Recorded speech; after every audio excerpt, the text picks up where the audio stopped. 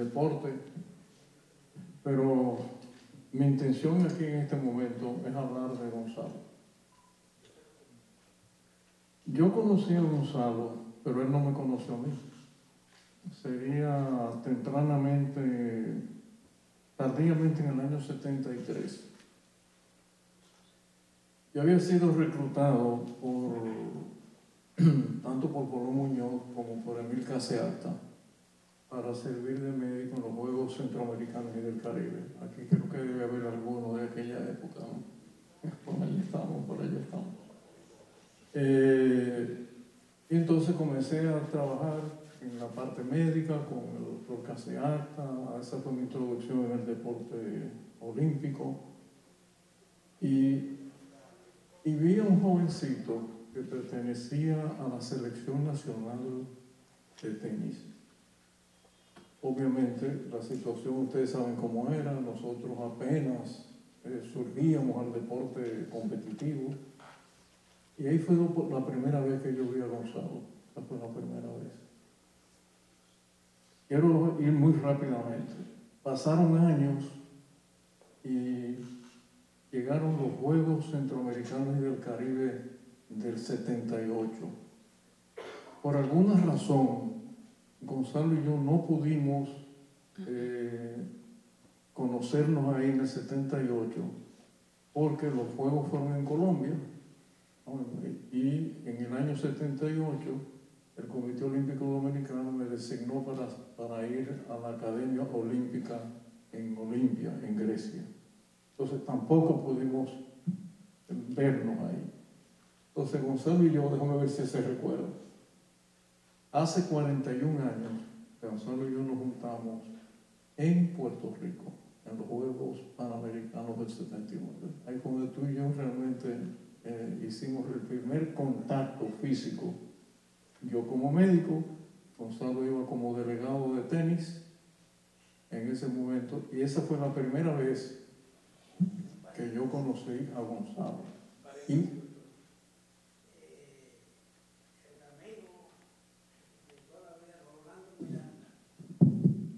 El delegado de gimnasia. ¿Te acuerdas? Que nosotros lo llevábamos gimnasia. Y entonces estábamos empezando la gimnasia. Y como Rolando siempre fue propulsor de todas estas cosas nuevas, de todos los deportes nuevos, Rolando y tuvimos, en la, éramos en la misma habitación, tuvimos ahí en, San Juan, Puerto Durmiendo juntos. No juntos, no, pero las anécdotas de, Gonzalo, que siempre ha sido una persona muy directa por, por un carácter que él heredó esencialmente de su papá. Su papá fue un hombre extraordinario, cuando fue un hombre, un hombre extraordinario. En una época donde los dominicanos le tenían un medio atroz al nombre de Trujillo, el papá de Gonzalo fue un antitrujillista de capa y espada lo que quiere decir que Gonzalo adquiere de su padre y también de su madre, como no. Se dice en medicina, hoy sabemos, que la inteligencia de nosotros los seres humanos no nos viene de los cromosomas masculinos, sino de los cromosomas femeninos. Esto es una verdad, ¿eh? una verdad. La inteligencia de nosotros los seres humanos es de la madre. Pero el carácter nos viene por los cromosomas de los padres y obviamente por el entorno familiar. Gonzalo se recordará que en Puerto Rico eh, nos cansamos de la comida, contratamos, no sé si te acuerdas, contratamos unas personas que después que terminaban las competencias íbamos a comer en la, cerca de, en la, en la periferia de la villa donde estábamos. Y ahí comenzó ya la relación que yo tuve con Gonzalo. Y después, en un en un curso muy rápido, Gonzalo y yo empezamos a vernos en cada uno de los eventos importantes en que nosotros participábamos. Tú y yo estuvimos juntos en México, estuvimos juntos en Venezuela, en Maracaibo, estuvimos juntos en Caracas en el 83, estuvimos juntos cuando Bienvenido Solano fue el jefe de delegación en Indianápolis, estuvimos en Indianápolis. Entonces, de ahí en adelante, la la relación con Gonzalo se estrechó cada vez más, hasta que Gonzalo llega al, comité ejecutivo del Comité Olímpico Dominicano. Entonces su trayectoria como dirigente olímpico ha sido excepcional. Señor, excepcional. A ver, así, bueno, estuvimos, en La Habana también, estuvimos en el 91 en, en La Habana también. Estuvimos en los Juegos Centroamericanos del 82 en La Habana y el 91 en los Juegos Panamericanos. Entonces, ha sido una, una trayectoria de más de 40 años, señores, conociendo a Gonzalo Mejía y cómo actuaba. Cosas que a mí me impresionaron de, de Gonzalo, varias cosas. En primer lugar, Gonzalo fue selección nacional en softball y selección nacional en, en tenis.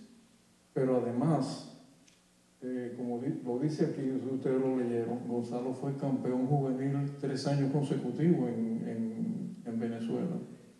Entonces, una persona que viene con una trayectoria deportiva en la ejecución del deporte y luego traspasa esa frontera y llega entonces a la, a la posición de un gran dirigente deportivo. Bueno, si yo fuera a escoger eh, las herramientas de Gonzalo en el movimiento olímpico, yo podría escoger varias, pero hay dos que a mí siempre me impresionaron. En primer lugar, su poder de discriminación con las cosas justas y las cosas bien hechas. Y de eso se trata. Si la nación dominicana repitiera Gonzalo Mejía una y otra vez quizá esta nación anduviera por otro, por otro camino. O sea, un hombre que puede discriminar y discriminar las cosas justas, de lo que es correcto, de lo que es moralmente correcto, es una persona que donde quiera que esté va a llevar a buen, a buen, a, buen término la organización a la cual pertenece. Y hay otro tema, no sé si Percio está aquí, está por allá Percio todavía y hay otra cosa, Percio, que, tuvo Gonzalo en esos años, y él, que, él le dio, esto es una opinión obviamente de alguien que fue presidente del Comité Olímpico, y, viendo el desarrollo del deporte, eh, cómo estas acciones a mí me tocaban, aunque yo no las, digo públicamente, pero me tocaban.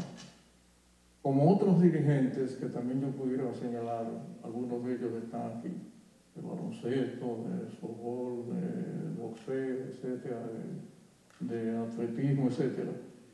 Eh, Gonzalo le dio al tenis dominicano, le dio el giro, que es el giro que ha tomado el Comité Olímpico en los últimos años, y por eso la labor de Luis Mejía. Las medallas que hemos obtenido en los últimos años ha sido por el giro técnico que nosotros le hemos dado al deporte, obviamente ayudado por el Estado, no hay ninguna duda, por nuestros entrenadores, los de fuera que han venido, pero también los, los nacionales que han avanzado de manera extraordinaria. Entonces Gonzalo le dio al tenis esa parte técnica que nosotros necesitábamos y eso entonces lo catapulta él a las organizaciones internacionales a las cuales perteneció y nos representó dignamente.